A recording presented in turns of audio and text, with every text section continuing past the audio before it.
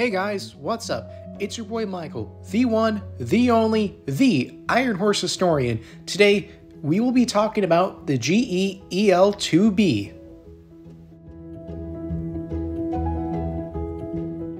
In the 1940s, the Virginian was ready to replace their aging side rod box cab electric locomotives.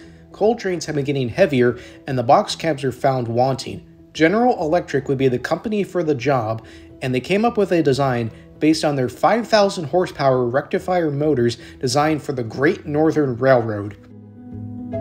This design would create the General Electric EL2B in 1948 and would officially replace the old side box cabs. They were assigned to the electrified portion of the Virginian between Roanoke, Virginia and Elmore, West Virginia, hauling the black diamonds of the Appalachian Mountains.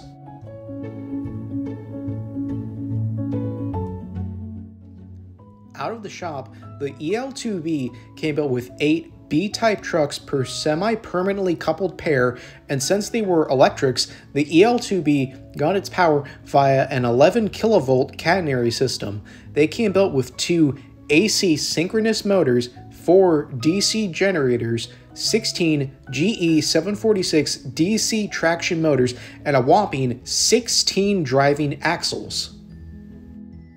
They had a top speed of 50 miles per hour, a starting tractive effort of 260,000 pounds, a continuous tractive effort of 162,000 pounds, a weight of 1,033,832 pounds, a length of 150 feet 8 inches, and for the horn, the EL2B came with a Leslie A200. While many railroads, such as the Milwaukee Road and the Pennsylvania Railroad, used electric locomotives, the Virginian was the only operator of the massive EL2B electric locomotive. The EL2Bs were solid workhorses for the Virginian. What they lacked in speed, they made up for in sheer power, all 6,800 horsepower of it. Into the 1950s, the ELCs, another product of General Electric, would augment the massive electrics, but time was running out for the 133 miles of electrified trackage.